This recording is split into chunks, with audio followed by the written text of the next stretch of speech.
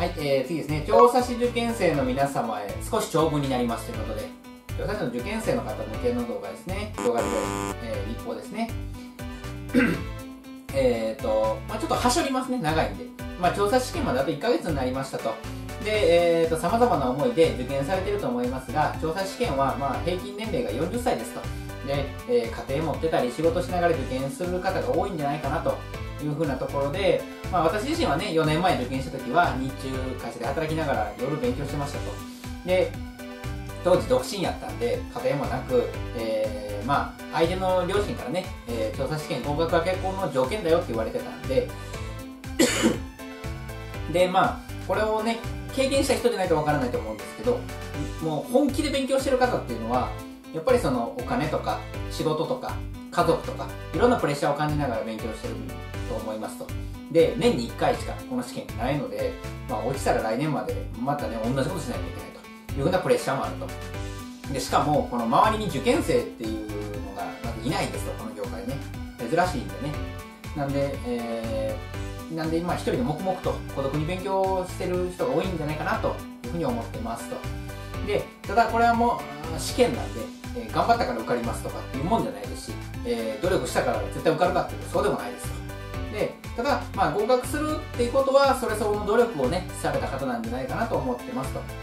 で、私自身2回ね、えー、受けてますし、1回目落ちた時は、えーと、号泣してね、人生で一番悔しい思いもしましたと。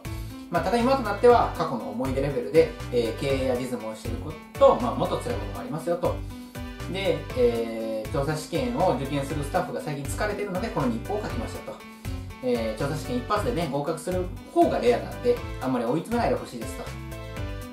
まあ、えー、調査士として実務やってる方が試験よりストレスありますよ、かっこ笑いみたいな感じでね、ちょっと投げてるんですけど、あのー、これがだから、いつや、多分9月とかなんで、まあもう言うてる間に調査試験始まりますよ、始まるっていうかもうね、試験日ですよっていうので、で、まあ、うちのスタッフが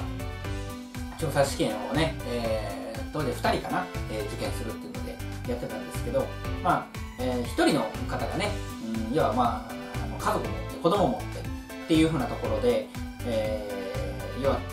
休日にね、えー、勉強したりとか、あとやっぱりその子供のなんかイベント、行事があっても、うん、行きたいけど、うん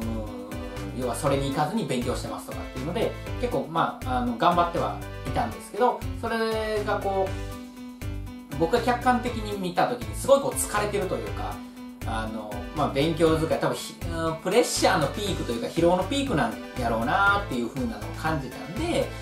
まあそんなに思い詰めないでねっていう風な、えー、要はにに逃げ道というかあのー、ねもうちょっと、気楽にやれっていうのも無理やと思うんですけどあんまり追い詰めすぎるとね体に毒ですよと言いますか。あのそんなまあ極端なんですよ落ちたからって死ぬ試験じゃないんであのもうちょっと気楽にやってほしいなっていう願いを込めて一応書いたみたいな感じですね。